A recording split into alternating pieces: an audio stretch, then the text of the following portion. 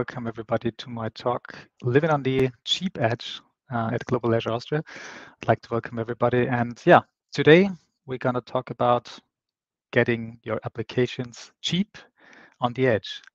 Um, we're going to talk about new JavaScript frameworks and also edge computing and the new clouds that are around. Let's see, let's dive in. First, um, a little bit about me. I'm um, Chief Technical Architect at Porsche Informatik. I've developed web apps since 1999, which is quite a while now. Um, that was uh, the year that Internet Explorer 5.0 was launched, I guess. And yeah, you find me on GitHub under der Kö, uh, and yeah, also on my homepage. I tweet at derk and I also toot at derk at Mastodon Social. So yeah, just follow me there if you want to. But now to the topic, cheap web hosting. So what would you think about if you think about cheap web hosting? How are most um, websites hosted nowadays that are cheaply hosted? And the first thing that comes to mind is obviously PHP. I think still most of the web pages on the internet are running PHP. It's working wonderfully. It works on one server. You can have a lot of tenants. It's really, really cheap to host. Usually a typical web page will cost you around 10 euros or dollars per month, and including a database and traffic and everything. So this is still the benchmark for cheap hosting. And if you're still into PHP and if your site is not too dynamical on the on the client, I think PHP is still the best way to host stuff. But what happened? What changed in the last uh, few couple uh, couple of years? We had two things happen. Um, the one thing that did happen is transitional web applications. Um, that's a term that's uh, uh, was coined uh, a few years ago, I think one year ago, um, by the creator of Svelte and um, Rich Harris. And transitional web applications are kind of new JavaScript web applications that are dynamic, but are also focused on the backend. Uh, we will talk a little bit more, but more about that. And the second thing that really happened is uh, there are new edge hosting platforms, serverless platforms that uh, enable really cheap uh, application hosting, nearly as cheap or even cheaper than PHP. So first have a look at transitional web applications and the frameworks that uh, support this kind of pattern.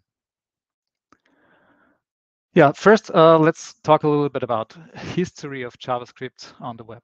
Um, when you look back um, to the 90s, um, yeah, there was just one way to develop um, web applications, and that was server-side rendered no JavaScript actually, because um, until 1994 there was no JavaScript, and after 1994 JavaScript was just put in really in small pieces here and there to add stuff.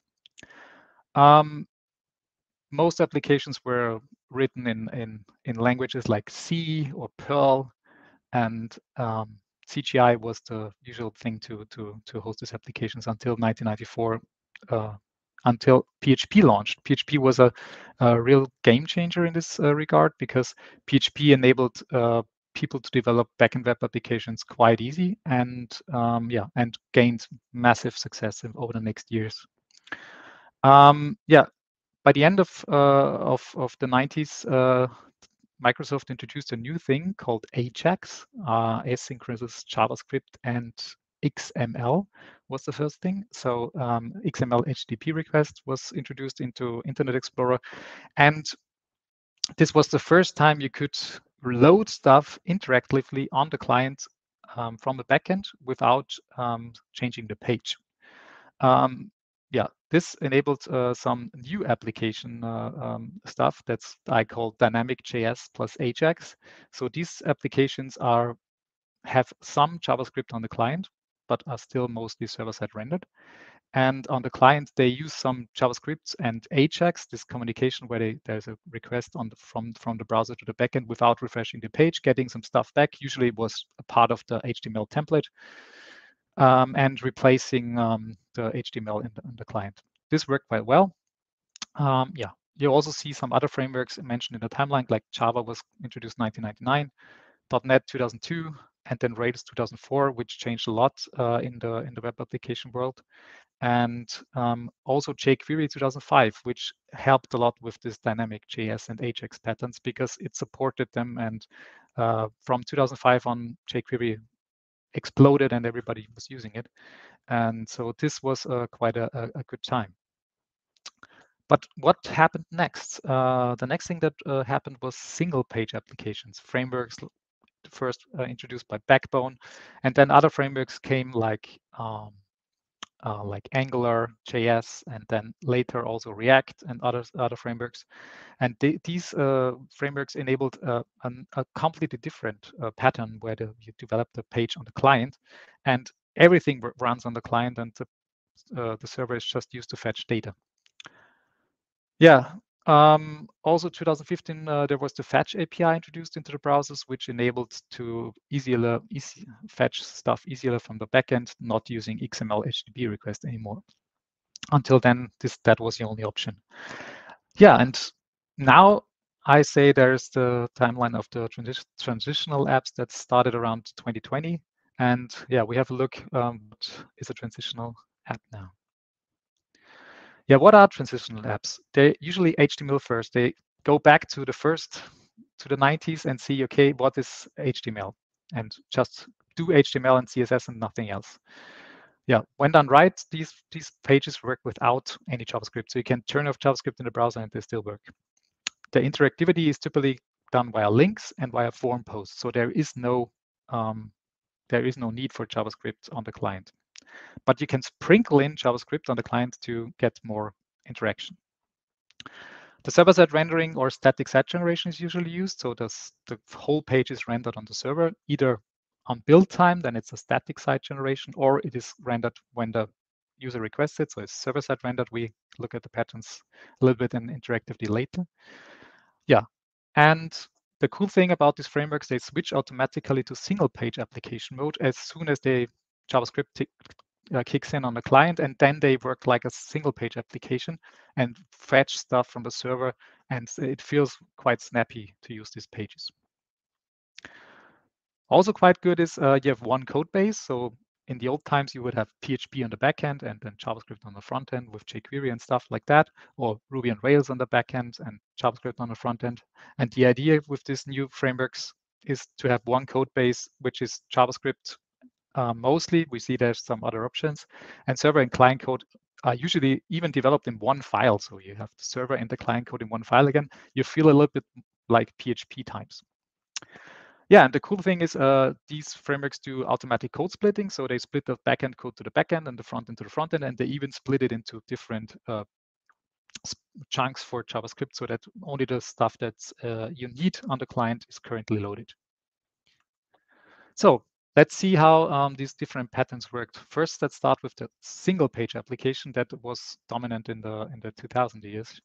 So the single page application, usually the client requests, um, sends a request to the server. It gets back uh, stuff from the server. Then uh, a loading page is shown because um, nothing is yet loaded. So the stuff, the, the uh, application has now go to back to the server, fetch data, uh, also run in the browser, so it needs some time to initialize the JavaScript and everything. And then when it's got, gets back the data, the application is there and it's interactive, so you can already click on the on the on the items. So this uh, was the single page uh, mode. The problem with that is obviously that it's not very good for um, for clients that have not a good uh, internet connection, probably because they have different um, um, requests and responses. Also for really uh, slow clients, it's really bad because the whole application has to be built on the client. Yeah, there are other stuff, uh, especially around um, search engine optimization. So yeah, what ideas had, did the people have to make this better? One thing was the static site generation or server-side rendering. This is the stuff that PHP already did in the 90s or even C and Perl before.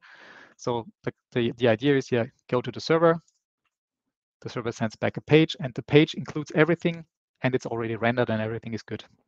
The problem is that that this is not interactive yet. So you can't click on anything and you don't get uh, the benefits of the JavaScript stuff. So you have to introduce something else. And these, this something else is usually called hydration. Hydration, it's like the idea is like you have the plant on the server and you dry it out and then you send it over to the client and then you hydrate it again so that it's can can start growing again. Yeah, works similar to the server-side rendering. So you get uh, you send a request to the server, server gets back with the full page, and then in the full page, um, uh, the JavaScript kicks in and re-renders the whole page, adding all the event listeners to the to, to to the application so that the application gets interactive. So the next thing would be interactive. But the step between not interactive and interactive can be a little bit uh, cumbersome. It can have some time. So you can have buttons where you can click on it, but it nothing happens because the hydration is not finished yet. If it's especially if it's a big React application, it can uh, lead to some problems. So what did people do? Yeah, they thought about partial hydration, and this is the so-called islands pattern, which Astro, the framework, um, does a, a lot. So the idea is, yeah, do the same thing like hydration, but don't hydrate everything just hydrate parts of the of the page.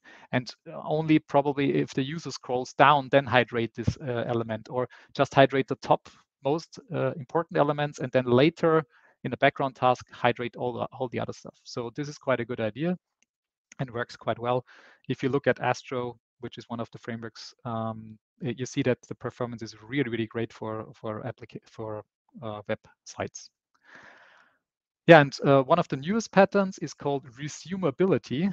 Um, and this resumability was introduced by a new framework called Qwik, which I will talk about in, in, in the demo also, and uh, also lazy loading. The idea here is that you also do the server request, the server gets back with the page, the page is already there, but you don't do actually anything else. You just have a really, really, really tiny JavaScript that adds an, an event listener on the top of your page that reacts to every event.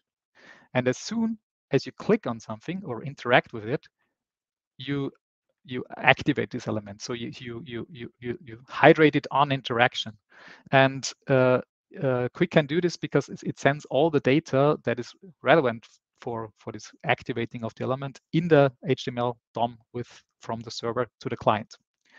It can also happen that uh, you can do lazy loading, so you can go over to another element, but the code for this element is not yet on the client. So as soon as you interact, the code is loaded from the from the server and uh, it gets to the client. So you can do this for stuff that's not very important, where nobody usually clicks on, or you can even also uh, preload this in the background, and as soon as the user clicks on it, it will be right there. So um, this is also quite a good pattern because it lead it, it saves a lot of bandwidth and, and and performance on the client if the if the JavaScript code doesn't have to be executed. So Qwik's pattern is do not execute JavaScript code that's not needed. Okay, that's the, the patterns that we saw. And uh, now let's look at uh, some of the frameworks that are available in this landscape. Interestingly, uh, or obviously, most of these frameworks are in the JavaScript area. So JavaScript, TypeScript, so Astro, Qwik, Next.js, SvelteKit, Nuxt, SolidJS. These are the the most uh, known frameworks. Obviously, Next.js is uh, one of the um, most known frameworks in this area, but Next.js is kind of a little bit older, so the newer patterns are uh, only available in, in some of the other frameworks. We, have, we can have a look at that. But there are also other options. Uh, for example, Phoenix. Um, Phoenix is a framework uh, which is running on Elixir on the Erlang VM, and Phoenix has something called Live View. And this Live View uh, is kind of emulates kind of the, the same thing where you um, code everything in the backend in Elixir, and there's just a small JavaScript library that fetches all the stuff always from the backend, which is kind of interesting. And uh, another pattern that's yeah interestingly similar to these, but not really the same. And you can also nowadays use Rust, for example. You can use laptop Leptos with Axum on the backend. And in this case, uh, you have server-side rendering in Rust, and then on the client side, it, the Rust is compiled to WebAssembly, and WebAssembly is used to generate the DOM again. So you have the same features like, uh, for example, here uh, on the left, like like uh, uh, Next.js, but uh, with a Rust backend and frontend framework, which is also quite interesting. Um, the interesting thing about the Rust stuff is that is uh, really there's a lot of things going on there. So have a look at there as well. today we're going to talk about the JavaScript frameworks mostly. So yeah, we'll, we'll see. Um, here I have a table. Um, I won't go into details. You can uh, have a look at it uh, afterwards in the slides. You see all the frameworks and which of these patterns these frameworks uh, support. Um, interestingly, um, here's Astro, for example, with this partial hydration and islands. And today I'm gonna mostly talk about Qwik, which is this one. It has also SSR, SSG, which is kind of all of them. And uh, Qwik also has a thing called fine-grained reactivity, which is also good for performance on the client, but uh, like SvelteKit and SolidStart also have this, and it has this resumable feature. So yeah, we will look about that. And Qwik is based uh, on something that looks similar to React, and it also supports React. So um, yeah, we, we, we, we can see it uh, in the demo. Also quite interesting is when you look at, uh, at npm trends for these uh, frameworks, um, you see I, I, just put in the npm trends from from Qwik, SvelteKit, Astro, Nuxt, and SolidStart, and you see Nuxt is um, one of the main things. It's Nuxt is in Vue.js, and you see the others are nearly irrelevant. So um, really small thing. SvelteKit is uh, quite trending, and yeah, and also Astro is also quite trending, but um, the other frameworks are really really low. Um, when you put in Next.js, actually everything is really low. So Next.js is massive and it's kind of the industry standard. If you look at the so four million, I, I guess I think it's weekly downloads. Um, so it's it's it's a lot. Um, and the other frameworks are really really low um, compared to to Next.js. So if you if you're a big company and want to play it safe, go with Next.js. If you want to try something else, yeah, I, I would recommend uh, have a look at the others like Solid Start and and also Qwik. So yeah, let's have a small demo how um, I, I, built a small to-do app in Qwik, including a backend, and see how how this works. So the to-do app will be like that. Uh, it will have a, a simple to-do list, uh, which you can where you can add to-dos and stuff like that. And uh, yeah, here's the code. Um, you see uh, these frameworks, most of them work quite the same. They have kind of a source folder, and inside the source folder, they have uh, routes. And in this, uh, the routing is usually file-based. So uh, index.ts will be the index page. And if you have here like a folder like tests, uh, test, and you put in a file index.ts in there, then slash test will go to this folder like that. So uh, usually these uh, systems also have kind of a layout system. So you can have a layout where you can yeah, put something around all the components. And here uh, in, in, in Qwik, uh, there is a slot uh, item. And here in the slot, the, the content will be put in there. Yeah, when you look at this application, you see um, it's it's kind of React, so it's JSX. It's written in JSX. What is interesting is that it uses forms, which you don't usually see in, in React. Um, you will see it in React with server components and stuff more and more. Also in the new Next.js version, they have kind of the same stuff. Um, you have a form and then you have an action that will be called when a to-do is added. So, and this interesting thing is this form is rendered on the, on the client, but this action, which is up here, um, is is uh, created on, on the backend. So this stuff here, uh, which is in the same file just a little bit above, runs on the backend. And here I can add some to-do service where I can uh, get uh, get added to do and then return a success. So this is uh, quite interesting about these frameworks. Yeah, so just uh, start it and see see how how it feels if we interact with the application. So um, I'm gonna also pop up my dev tools here on the right and uh, you can that you can also see like uh, interactions here. Uh, what is quite interesting is um, that um, I can yeah, add to-dos, and uh, interestingly, um, I, I, just refreshed the page again. You see that there's just nearly no JavaScript fetched in here, um, but as soon as I start entering stuff here, you see that there's a lot of JavaScript fetched lazily afterwards. So that this is the lazy stuff that Qwik does. Um, as soon as uh, I interact with something, um, it will reload the JavaScript that's needed for this interaction. Otherwise, it, it won't load it. So this is a, a, a quite interesting uh, feature of that. Also quite interesting is you can go in here and uh, deactivate JavaScript. Just disable the JavaScript and now JavaScript is completely disabled on this page. I can refresh the page, it still renders, and I can even add a to-do click on enter, and you can see uh, this was just a, no a, normal form post now. So it was a full page refresh. So um, as soon as I deactivate JavaScript, um, everything works. And there's nothing specially implemented on, on, on the framework on the backend. It's just this form handler, use add to do.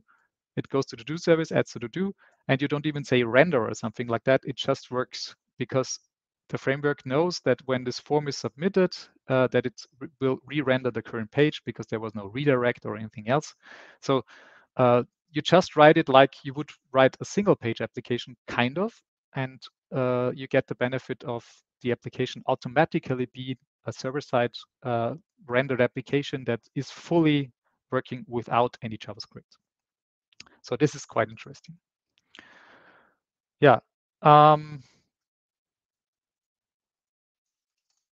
okay, and I can go in here again and uh, enable JavaScript again, and yeah, and so I have everything here again. So this is quite cool. And uh, if you think about a little bit about that, you can uh, build the whole application in a way that nothing um, actually needs uh, JavaScript on the client. And also the performance with that is really amazing. You get uh, pages that are automatically have a, a, Lighthouse score of 100, um, and you don't have to think about it a lot. You write it in one code base, everything kind of works, um, and it's quite easy to write and quite easy to handle for most web developers. Okay, dokie. Um, so this was uh, um, a small demo about how how Qwik um, can can help you with that. Uh, the whole source code um, is um, located here under GitHub. There are quick to dos. You can have a look at the code and play around with it, fork it, um, do whatever you like. Okay, so this was the first thing um, that I showed. But what also happened um, was um, we have something like the new edge hosting platforms. And this is also a big game changer that happened in the last um, couple of years.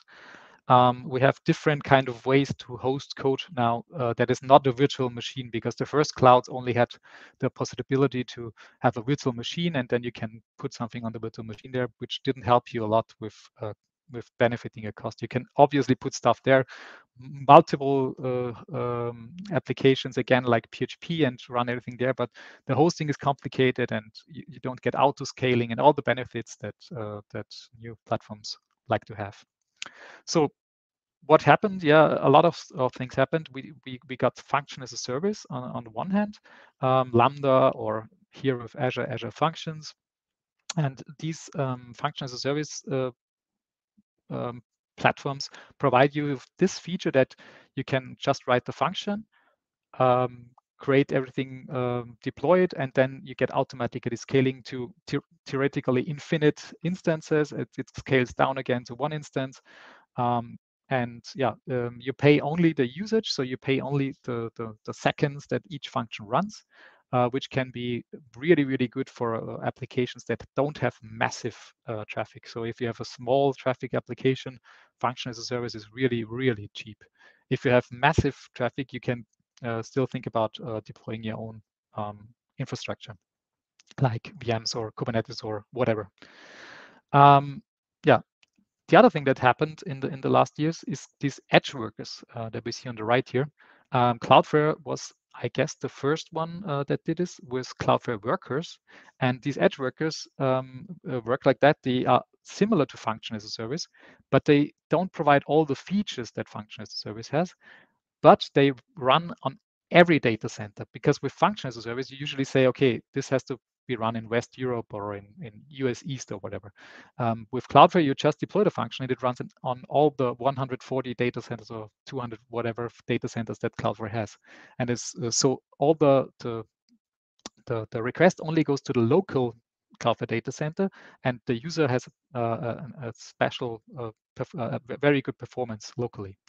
Uh, nowadays, also Netlify, Vercel, and a lot of others uh, ch jumped into the, the bandwagon. Also, there's also Lambda at Edge now, um, which enables kind of the same stuff. Um, yeah, we will have a look how how how this works. And there's another quite interesting um, thing going on with Edge containers. So you can have now containers on the edge. Uh, Fly.io is one of the most popular. I guess there are some others now, but I think Fly is still uh, the, the leader in that. So Fly does the same thing that Cloudflare does. It has massive data centers around the globe. And um, you can additionally, but you can cannot run only functions or like limited functions, you can run whole containers. So you can uh, run your whole application there, which gives you uh, special um, uh, special powers, especially with with um, libraries uh, like uh, Phoenix and Elixir. You can do a lot in in, in this area. Uh, today we're gonna focus on this edge workers and a little bit on function as a service. So yeah, the runtime comparison. What's the difference between function as a service and and these edge functions? Um, function as a service um, yeah, you get a better isolation uh, usually because it uses micro VMs or containers. Um, in Edge function, you use V8 isolates. V8 is the Node.js runtime. It's a, the runtime, the JavaScript runtime that powers Ed, uh, the, the, the Edge and the Chrome browser, and also uh, Node.js, and also Deno and other runtimes. Um, and there is a special thing in there called isolates, where you can isolate code um, in in uh, in in and, and, and put it in kind of a of, of a container. So this that's different, but it, it, usually as a user you don't care about that. Um, yeah, the startup time is uh, interesting because uh, function as a service has this kind of cold starts, uh, which uh, are not very good on Azure. It's a, a little better on AWS, and um, the, with these edge functions you don't actually have a cold start most of the time. So they're up in usually just a few milliseconds. Um, uh, even if they weren't called for a long time on in a data center. Um, that's because the, the V8 virtual machines are already running and they just run load a JavaScript module and, and run it. So it's really, really fast. Um, function as a service uh, have, has the benefit, obviously, that you can run any language. Um, most runtimes ex have explicit support for JavaScript, Python, Java, .NET uh, in Azure and other languages. Um, with usually you can also run any container, so this also kind of works. With Edge functions, you only have JavaScript and WebAssembly, so you don't have anything else uh, apart from that. So um, uh, so you're very limited to that, and you don't even get a full Node.js uh, JavaScript. You you get only a, a, small subset of, of the, the Node.js runtime.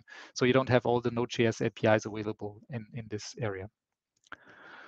Yeah, with function service, you don't have any limitations in this case, but um, for for other stuff. But uh, with edge functions, you have a lot of limitations. You have no TCP connection, for example. You can't create a TCP connection because these stuff will be turned off again uh, as soon as they're uh, not there. So you can't have a, uh, a persistent TCP connection. With functions as a service, you can do this because it starts the cold start, and when it's running during the running phase, you, you can have a TCP connection to a database or something like that, which doesn't work with edge functions. Um, for example, if you're using Prisma to map your objects to the database, there's a special service in Prisma that maps kind of SQL to, to HTTP calls and then uh, uh, creates a TCP connection to the data, database, which kind of works. So it's like a proxy server for database connections.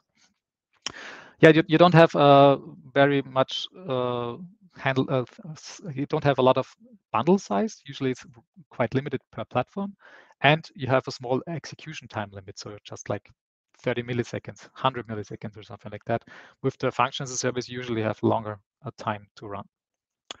The cool thing about uh, these new frameworks is that uh, they can compile their application in a way that they run on these limited edge functions, and even uh, even uh, they they even create really small bundles, so um, you can even run it on, on most of these uh, edge functions. You can also run it on functions as a service, and this works quite well with this um, these runtimes. Yeah, um, have a look at uh, two specific uh, um, hosting platforms, Cloudflare Pages and Azure Static Web Apps, which both support like the function plus static hosting, uh, which is really cool. Uh, the cool thing about Cloudflare is it's globally distributed. In Azure, it's only the static content is globally distributed, but the functions run in a defined region.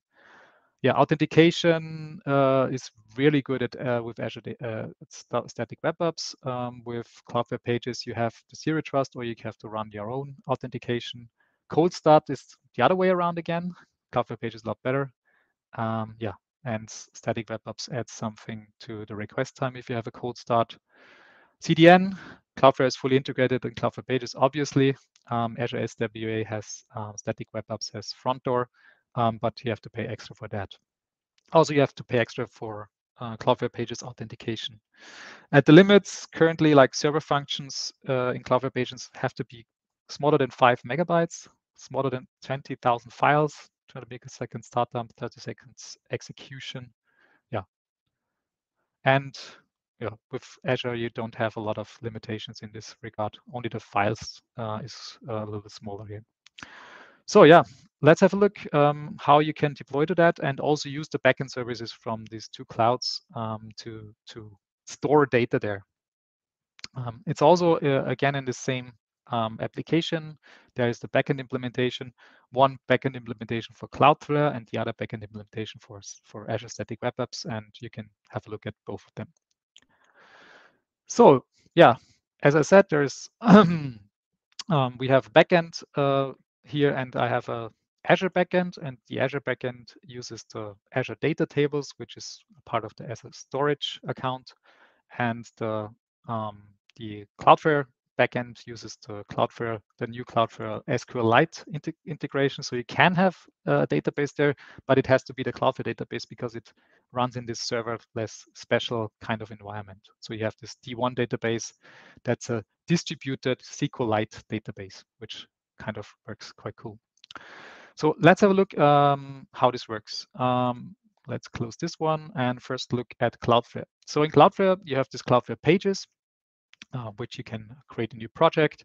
You can um, then um, in the Qwik application put in an adapter for that. So um, what you actually do in in Qwik, you just uh, run something like pnpm qwik add and pnpm qwik add and then you get whole, the, the whole integrations. Uh, you get Netlify Edge, Vercel Edge, Clouds Run, uh, Google Cloud Run, and so on and so on. And they also has Azure Static Web Apps and um, and also um, um, Cloudflare. So with that, uh, you can build the application for Cloudflare and uh, also deploy it to Cloudflare with a single command, which is quite nice. Um, and here you can see the application. You can see the deployments that were running. Um, the last deployment was running four hours ago. You can see the domain and so on and so forth. So let's have a look at the, at the website, how it looks. You can see there's the same to-do app. Now I have some tasks here. I can close them. I can add a new task. And the cool thing is uh, these uh, these tasks are now stored in the in the backend database here. So in the under workers, you have this D1 database, which is still in alpha. Um, and there you can find your databases like to-dos. And when we look in here, we can see that we have four rows. So these are actually exactly the rows. So here I have to add new tasks that I just added. Uh, I can add another one, another one. And then as soon as I add another one and I will have a look at the table again, um, I will get another one um, here. So this database is uh, hosted uh, there's another one. This database is uh, hosted in inside uh, Cloudflare and yeah, fully managed and everything works there. Yeah, let's go to Azure. Uh, same thing for Qwik. You have an adapter for Azure. You can just add it. And then you have your Azure tasks here. Um, you can close them and, and it works the same way. Um, here you see the Azure portal. portal. There is the static web app. Um, and uh, you can also see there is the storage account. And when we go into the storage browser, we can see that there is a table storage to-dos, and here are the tasks that we just saw here. So also the, the one completed that we just completed here. So you can use all the Azure services there, which is really, really cool. And you can also use the Azure Static Web App features like preview environments, where as soon as you create a, a pull request on on GitHub, for example, here we have a new pull request on GitHub, which is updating Qwik to the newest version. Then you get um, a preview link where you can also in the static web app deploy multiple instances. So this is the new version running on a different URL uh, with the newer Qwik version. And yeah, you can preview that. And when you're happy with that, you can merge your uh, your pull request there. So you can have these really cool features that are there. Um, and you can also have like everything else that's uh, that's here available, like uh, custom domains, and also the security feature where you can have authentication um, and everything else. So this works really, really well here in Azure Static Web Apps. Uh, the only big problem with Azure Static Web Apps is that sometimes you have these cold starts and um, then the, the page needs like a half a second or a second or two seconds to load. Okie dokie. So yeah, that's really cool. And the cool thing about the Qwik framework is you don't have to do actually a lot of things. Everything, um, uh, these adapters work out of the box and you can uh, deploy with them to Azure, to GitLab, to Netlify, Vercel, and, and so on and so forth. So, and all the other frameworks like Next.js and and and uh, and and and SvelteKit and so on also have this kind of adapter feature where they you can add uh, uh, adapters to deploy to other clouds. So this is pretty cool. And yeah, as you can see uh, with with that you can easily uh, host applications that are uh, easily developed, can have a lot of interactivity, work kind of like a single page application on the client, but uh, still uh, a backend application. And they work without JavaScript. They're searchable, they're indexable, and yeah, it's it's uh, it's really a, a, good way to go away finally from our PHP applications and uh, use something new. Um, when we uh, look again at pricing, um, for example, the when we looked at, at Cloudflare, here, um, I have this Cloudflare free account, so this is actually costing nothing um, for me. Um, obviously, you should, you should, have a professional account, um, but they're also quite cheap for, for these use cases. I guess you, for a smaller site, you get around 20 euros a month. Um, and with Azure, you can have the Azure Static Web Apps uh, thing, which is also free. Also, the, the storage account is free for uh, for uh, some amount. And um, here in the uh, Azure Static Web Apps, you have like two plans, the free plan, um, and you have the standard plan, which is yeah around eight, yes, seven eight to eight euros in in this in this area. So this is quite good and and cheap to host. So yeah, I will suggest experiment with that and and go on with that. Okay. Um, thanks so far. Um, I'm, I'm finished uh, with my talk. Um, you can reach me out on these um, URLs. You also find the GitHub repository there. I will also put the slides on my homepage, derekq.dev, um, for later lookup. And also, um, yeah, I'm working for Porsche Informatik. We're hiring. Don't tell anyone. And yeah, just contact us and uh, let's talk. So thank you very much for, oh, I think, um, yeah. Are there any questions? And I, I saw there's one question. Uh, the question was, does enabling enterprise-grade Edge improve the cold start situation on Azure? Um, I don't think so, actually, because the cold start um, just uh, yeah, the, the, the, enterprise edge stuff is uh, is kind of a front door that's put in front of your application, so the caching is better. But I think the cold start will still be there if your application is longer down. What you can do, you can uh, with um, with Azure Static Web Apps, you can deploy a custom function app. So you can deploy your own function app, and in this function app, you can uh, use one of the app service plans, not the not the not the plan that's uh, that is serverless, kind of some, but you you have to pay for for a, a, certain amount for that it's running all the time. And uh, then uh, this will get rid of the cold start times. But I'm talking about cheap stuff, so this will rule this one out. Any other questions?